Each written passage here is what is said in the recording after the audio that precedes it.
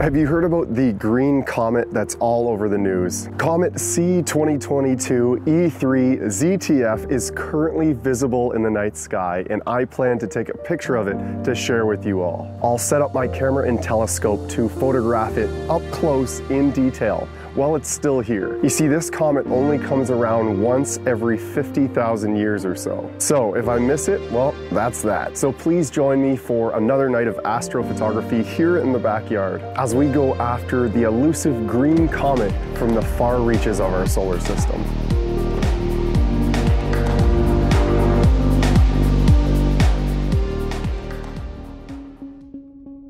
A comet is a small celestial object made up of ice, dust, and rocky particles. When comets get close to the sun, they often release gases and dust that form a bright visible tail. One of the best ways to describe a comet, a lot of people like to call it a dirty snowball. The tail of these comets is always pointing away from the sun due to solar wind. Comets are really old. They're believed to have formed at the early stages of our solar system. And because of this, they're thought to contain some of the oldest materials found in the solar system. The comets themselves aren't super rare, so why is this one so special and get all that news coverage?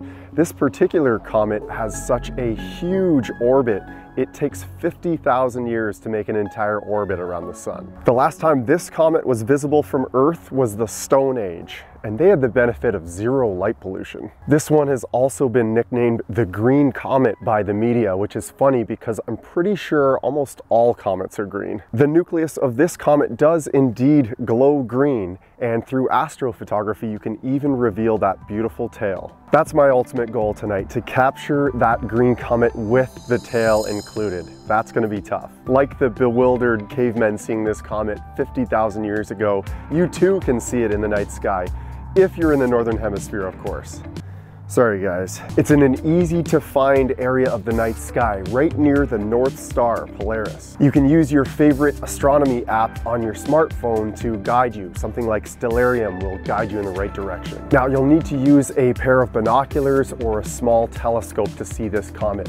Unfortunately, it's just not bright enough to see visibly with the naked eye. Ideally, you would view it without the bright glow of the moon interfering, but that is precisely what I'll be doing tonight. I don't get many chances to see the night sky in the winter, so I have to take what I can get. To capture the green comet, I'll use a small refractor telescope this one that has a focal length of 550 millimeters. This will bring it in nice and close, but not too tight where I run the risk of cropping off any of that tail. If the tail's even still there or what it looks like now. That's the most exciting and potentially frustrating thing about photographing comets. They're evolving and unpredictable. I haven't taken a picture of a comet since Neowise in 2020, so this is a real treat for me. I'll use a color camera to capture the green comet in full color and an imaging software software that allows me to point in the exact location of where it should be. I should be able to see the comet right away in a short test exposure, and then it's a matter of choosing the ideal exposure time to take a series of images where I can reveal plenty of light on the subject without having too much motion. See, the comet is moving in a different speed and angle than the traditional motion of the stars in the night sky, so my traditional tracking methods won't work. I've seen others use auto guiding on the comet itself as if it were a star with positive results. Instead, I think I'll just track the night sky like normal, but limit my exposure time to 120 seconds to avoid a blurry comet. I mean, it's kind of a blurry fuzzball anyway. How bad could it be? Wish me luck.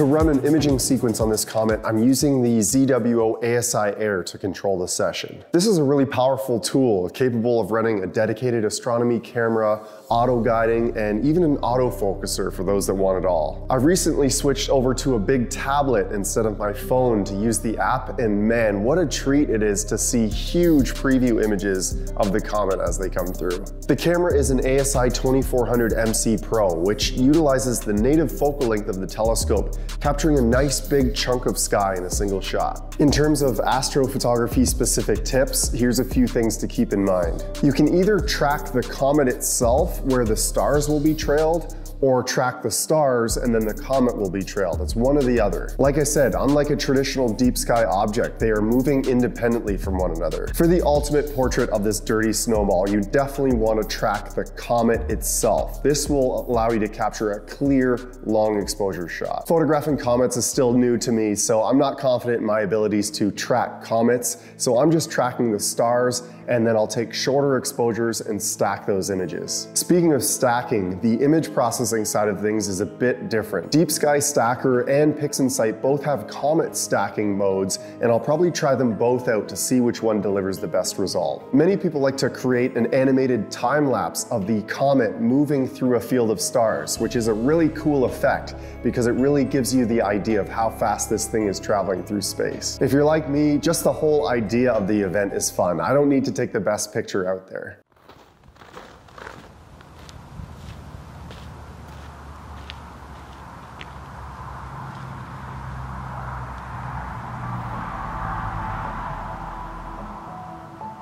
Unlike some of the other celestial events that get the media's attention, I think comets are a big deal. I mean, they're visitors from the far reaches of our solar system and they're only here for a short time. The fact that they're kind of doing their own thing makes it cool. The kind of cool that makes you wake your wife up early in the morning to come outside and take a look. Whether it's every 76 years or every 50,000 years they visit, it's a reminder of how comparatively short our lives are here on our rock and how incredible this entire existence is. So go outside and look for the green comet yourself because nothing lasts forever.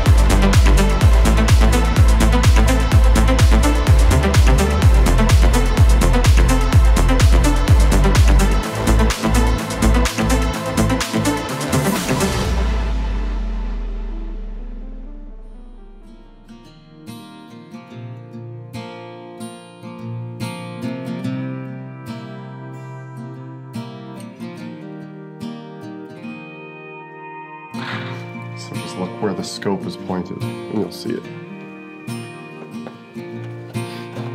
Okay. Get my slippers on.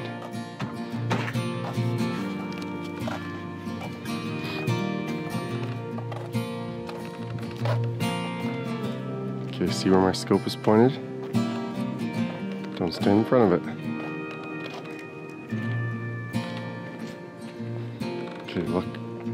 Binoculars out and look up.